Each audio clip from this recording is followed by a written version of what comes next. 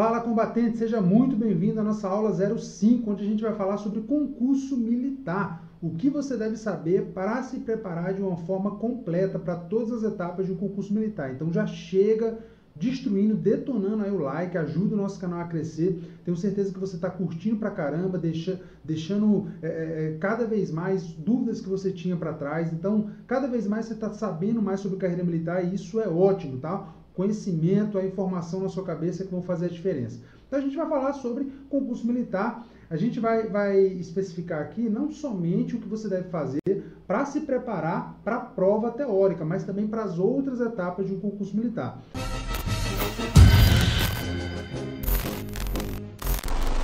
Tá certo? E já iniciando aqui a nossa instrução, eu vou perguntar para você para qual concurso você vai estudar, tá? Então deixa aqui nos comentários abaixo qual concurso que você vai estudar. E se você ainda não sabe, se você ainda está em dúvida, é porque você não viu a nossa aula anterior. Então já paga 10 flexões e assiste as nossas outras aulas. Elas estão aqui no canal aula 1, 2, 3 e 4, para que você saiba exatamente para qual concurso você deve focar, beleza? Então, ó, um concurso militar, ele basicamente tem essas etapas aqui, ó.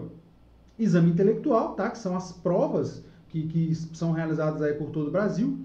Inspeção de saúde, onde você vai levar diversos documentos lá, vai apresentar diversos exames de saúde, na verdade, né? você vai levar vários exames de saúde para comprovar que você tem é, é, é, capacidade física ali, né? você tem saúde, você tem um corpo saudável para ingressar numa carreira militar.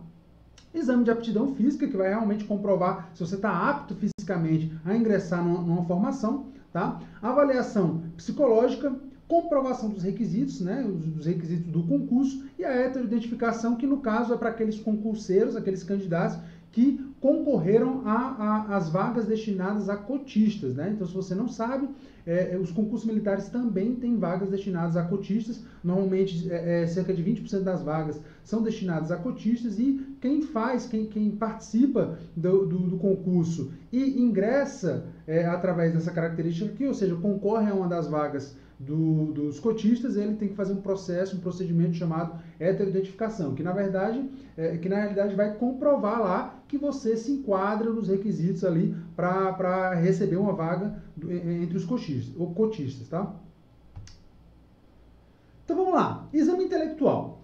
É interessante que você entenda que essa é a primeira etapa, mas não é a única etapa. Então tem mais coisa além do exame intelectual. Tem mais coisa além da prova intelectual, tá? Da, dos testes lá que você vai fazer.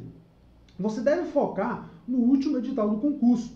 Então, se você vai fazer a prova da SPSEX, por exemplo, em 2021, tenha por base o edital do concurso de 2020. Por quê? Porque os editais mudam muito pouco de um ano para o outro e às vezes eles nem mudam.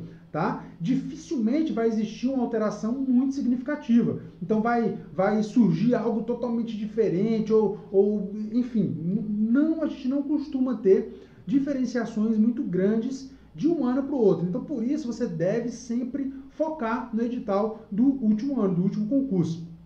Fortaleça a sua base. Não adianta nada você, ah, eu quero começar a estudar para a. E aí, com uma semana de estudo, você quer começar a fazer prova é, é, dos anos anteriores. Não, você tem que se basear pelo edital dos anos anteriores. Mas isso não quer dizer que com uma semana de estudo, você já vai estar tá querendo fazer prova anterior. Não, não é assim. Primeiro reforce sua base. Então, eu, por exemplo, no meu ensino médio, eu não estudava, eu não queria estudar, eu queria jogar basquete, eu queria fazer outras coisas. Se você, assim como eu, não levou o seu ensino médio a sério, tá, você vai ter que correr atrás. Então não ache que ah, é, você vai em duas semanas, em um mês, corrigir 3, 4, 5, 6 anos que você deveria estar estudando e não estudou.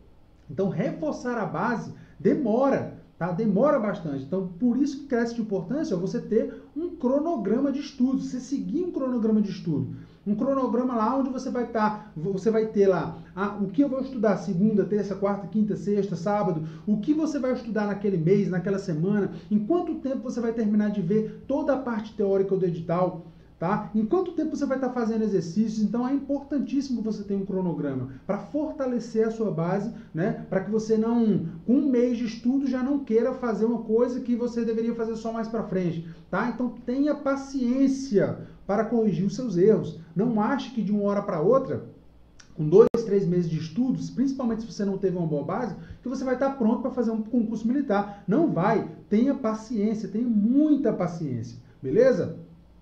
Inspeção de saúde. Vamos falar aqui um pouco sobre a inspeção de saúde. Se possível, faça uma avaliação prévia para identificar possíveis problemas de saúde e realizar o tratamento adequado. Então, se for possível, guerreiro, faça um exame médico, uma inspeção de saúde, vamos dizer assim, né, prévia. Você vai lá no médico, fala para ele que, ó, doutor, daqui a um ano, daqui a um ano e meio, daqui a dois anos eu vou fazer um concurso militar, tá aqui o edital do concurso. É, será que teria como eu fazer alguns exames para ver se eu estou bem, para ver se de repente eu não tenho aqui algum desvio na minha coluna? Né? E se tiver, se eu já posso ir fazendo fisioterapia para corrigir isso. Né? Então, se possível, faça um exame prévio, tá? Um, uma análise prévia, né? nem um exame prévio, então uma análise prévia, tá bom? Identifique os exames a serem apresentados. Então, quando você for fazer essa, essa avaliação prévia, se for possível, leve lá para o seu médico o edital para que e fale para ele, né? Para que ele te oriente. De repente, é, você, é, quando era criança, tinha algum tipo de problema de saúde e aí você se curou. Será que não é o caso de fazer um exame para saber se realmente você está curado? Né? Então, o médico que vai te orientar melhor. Então, se possível, faça isso, tá bom? Exame de aptidão física, ó, crie o hábito de realizar atividade física desde cedo. Não importa qual tipo de atividade física, comece a fazer atividade física desde cedo.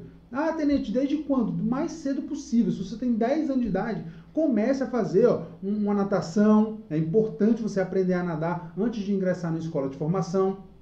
Tá? É, começar a jogar futebol, a, a jogar basquete, a jogar vôlei, a fazer uma arte marcial. Comece a fazer atividade física com a, com a maior antecedência possível, porque isso vai controlar o seu peso, tá? Isso vai fazer com que você desenvolva desde cedo a sua liderança.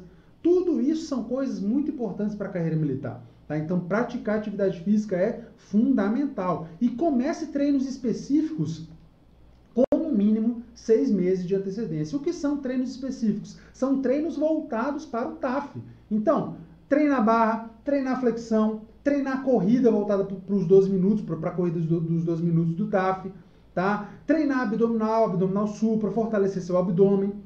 Para quem me conhece, para quem conhece a minha história, sabe que eu fui atleta desde os 12 anos de idade. Eu estava praticando atividade física. Só que por muito pouco eu não fui reprovado no, no TAF da SpaceX, lá na Barra. Por quê? Porque ó, eu fiz isso aqui, eu tinha o hábito de fazer atividade física, só que eu não comecei a treinar especificamente com seis meses de antecedência. Eu só comecei a treinar para a prova da SpaceX, né, para a barra, para flexão, depois que eu passei no teste, que eu vi meu nome lá na, na, na, na lista de aprovados.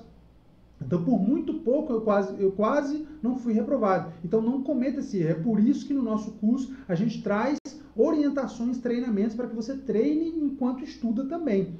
Tá certo? Então, importantíssimo. E alimente-se de uma forma correta.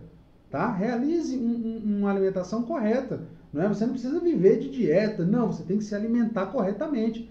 Eu não sou a favor de fazer dieta, tá? Somente em casos extremos ali, que a pessoa precisa perder é, muito peso, enfim, o cara é um atleta, mas o que você tem que fazer é ter uma alimentação saudável.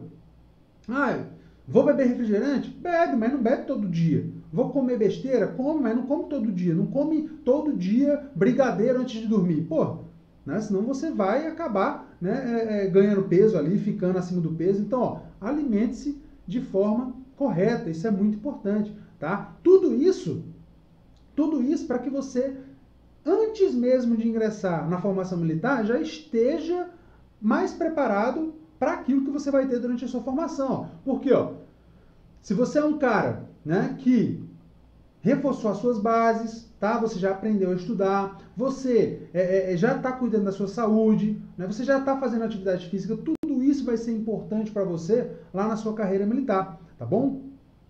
Avaliação psicológica. Então, ó, se você nunca teve nenhum tipo de problema prévio, não se preocupe. Tá? Então, caso você tenha tido algum tipo de problema com depressão, já tiver tido, é, por exemplo, algum tipo de tratamento com psicólogo, com psiquiatra, tá? aí sim o que, é que você faz? Faz uma avaliação prévia. Vai lá, tenente, eu tinha problema com depressão, tal, eu, eu, eu me tratei lá com psicólogo. Vai lá no seu psicólogo, explica para ele que você vai fazer um concurso militar, e aí de repente ele vai te orientar, vai te passar um novo tratamento ou não, vai, enfim, vai te orientar da melhor forma possível. Se você nunca teve nenhum tipo de problema psicológico, fique tranquilo, tá? Que a avaliação psicológica do concurso, ela é bem tranquila, tá? Não tem nenhum bicho de sete cabeças não. Inclusive aqui no canal eu tenho vídeo falando sobre a avaliação psicológica dos concursos militares, tá bom? Então, ó, e a comprovação dos requisitos? Quando você passa por todas essas etapas aqui, ó, você fez a prova, inspeção de saúde, exame de aptidão física, avaliação psicológica, aí você vai ter a comprovação dos requisitos, que nada mais é do que você apresentar os seus documentos lá para mostrar que realmente você cumpriu todos os requisitos do concurso.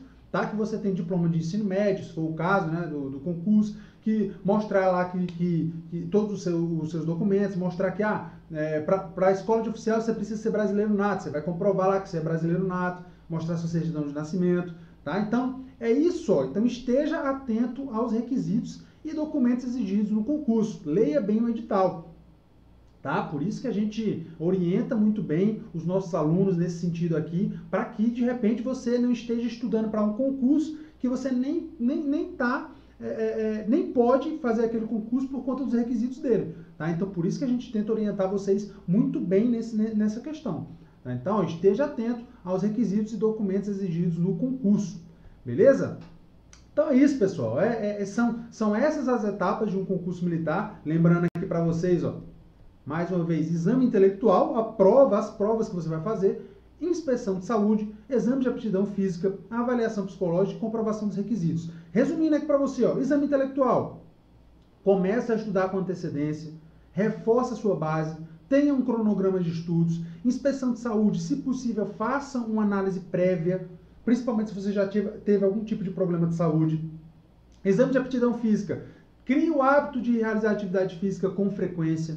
Tá? E avaliação psicológica, se você já teve algum tipo de problema, tá? procure lá o, o, o profissional, o psicólogo, o psiquiatra e forme para ele que você vai fazer um, um, um, um, concurso militar, que ele vai te orientar melhor. E a comprovação dos requisitos, você tem que ficar atento ao edital, aos requisitos do concurso público. Beleza? Então é isso. Fé na missão, espero que você esteja gostando da nossa Semana Zero. Deixa aqui abaixo as suas dúvidas, os seus comentários e até a próxima aula. Tchau, tchau.